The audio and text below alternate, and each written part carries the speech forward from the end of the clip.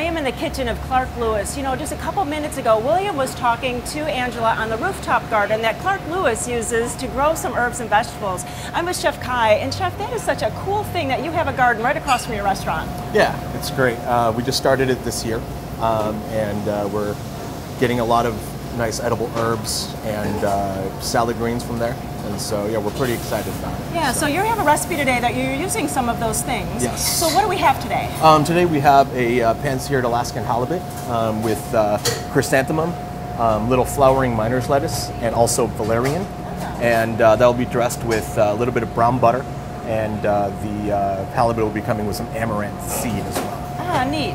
So I know that you already have seared some um, halibut. So what did that go? What are those steps? Um, the uh, halibut did we simply season with salt and pepper, and uh, we uh, take a little bit of uh, blend oil, which is a mix of olive and canola, and just uh, pan sear it, and then uh, sear it on one side, flip it, throw it in the oven, um, and then uh, pull it out when it's done. Ah, Pretty and simple. then what's the next step from that? Um, the next step from that is we heat up the amaranth with a little bit of uh, veg stock and uh, a little bit of butter and salt, um, and then uh, just heat it up till it's dry in the pan, and then we go to plate with the Ah. with the fish.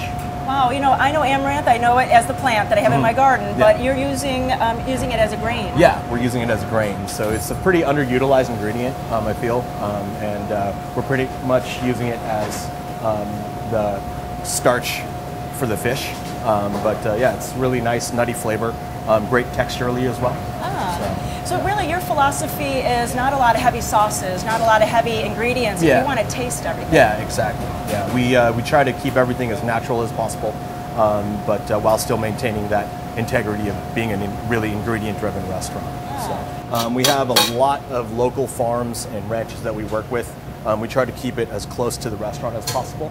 Um, so our main purveyors um, include farms like Gathering Together, uh, Viridian Farms, DeNoble, um, and our ranches include um, Payne Family Farm, Okay. um, Carmen Ranch Beef.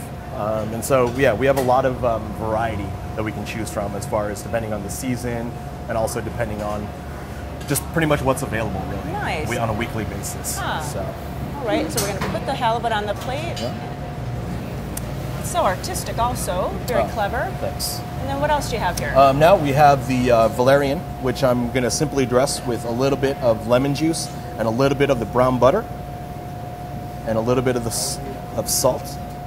And what we're doing is just giving it a really nice sheen. And what this allows us to do is just really let the ingredients kind of pop out. And it's very interesting for valerian because I've grown it before, and uh, the, all the uses I've ever seen were for more of a medicinal. So this is Yeah, nice traditionally it is. Yeah, we've uh, this is the first year that we've actually um, really tried to do anything with it, and it's um, I found that it's really nice, um, bright green, and uh, it has almost like the taste of like a cross between like a mint and a spinach. So yeah, really nice and fresh. And what is So that now you're putting This on? is a little bit of uh, flowering um, miner's lettuce Uh-huh. that we got from our garden. Yeah, which is a native. It grows out in the wild. Yes, that is correct. And this is a little bit of chrysanthemum as well.